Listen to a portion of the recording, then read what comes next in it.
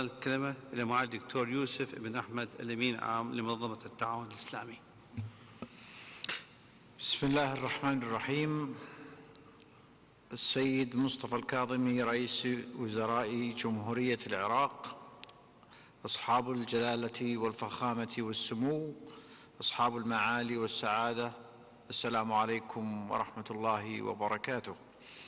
أتشرف باسم الأمانة العامة لمنظمة التعاون الإسلامي بأن أخاطب جمعكم الموقر في افتتاح أعمال المؤتمر الإقليمي للتعاون والشراكة آه، في المجالات كافة.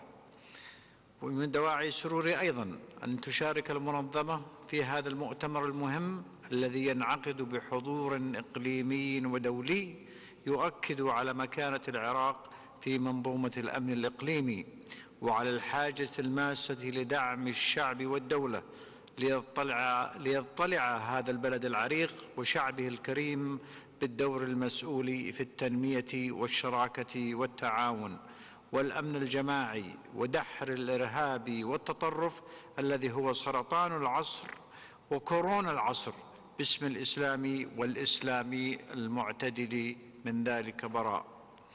إن هذه المبادرة من جمهورية العراق تأتي في وقت يحتاج فيه إلى كل الدعم والمساندة ليتجاوز التحديات التي يواجهها وأنني إذ أثمن المكانة الخاصة التي تحظى بها جمهورية العراق داخل منظمة التعاون الإسلامي ودورها الريادي في العمل الإسلامي المشترك وخاصة والحاجة للتعاون والشراكة مع الجميع.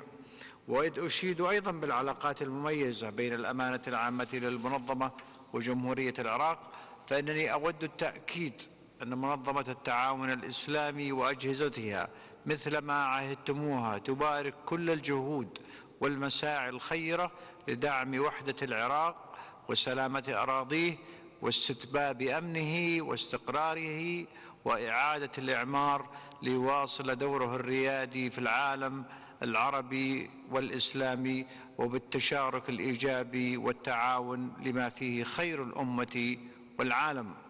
وتشجع المملكة العربية السعودية وقيادة وقيادتها باعتبارها رئيس القمة الإسلامية جهود الشراكة والمشاركة مع العراق كافة سياسيا واقتصاديا وإعمارا وتنمية واستقرارا وحوارا مع الجميع. أصحاب الجلالة والفخامة أصحاب المعالي والسعادة منذ 2000 و... منذ 2014 مر العراق وشعبه بأحداث جسام. بعد أن دنس الإرهاب الظلامي لتنظيم داعش أرض العراق الطاهرة حيث دمر المدن وقتل وهجر أهلها وانتهك الحرمات باسم الإسلام والإسلام من كل ذلك براء.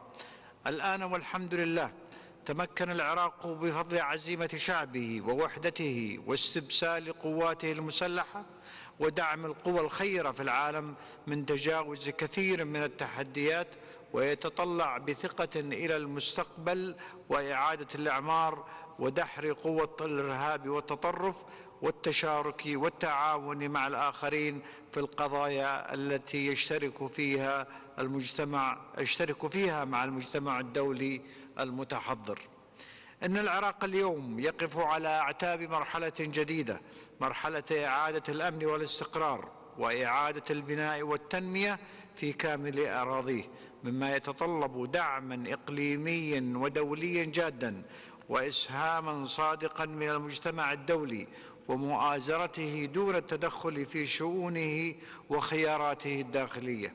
ذلك أن استقرار العراق وازدهاره يصبان في مصلحة الجميع وندعو دول المنطقة والدول العربية والإسلامية والدول الصديقة وشركاء العراق والمؤسسات الدولية دعم العراق في جهوده من أجل تدعيم ركائز الأمن والسلم والاستقرار والتنمية في إطار احترام سيادته على, أراض على أرضه وشعبه والاستجابة الجادة لدعوته الصادقة للتعاون والشراكة في المجالات كافة.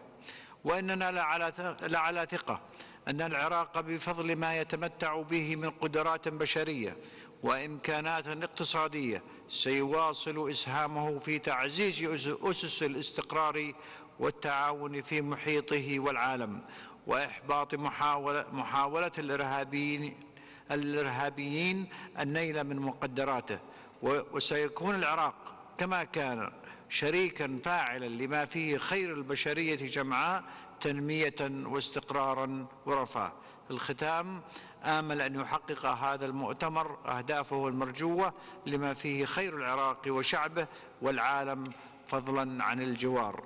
حمى الله العراق وشعبه وأعاد مجد عاصمة الرشيد. والسلام عليكم ورحمة الله وبركاته.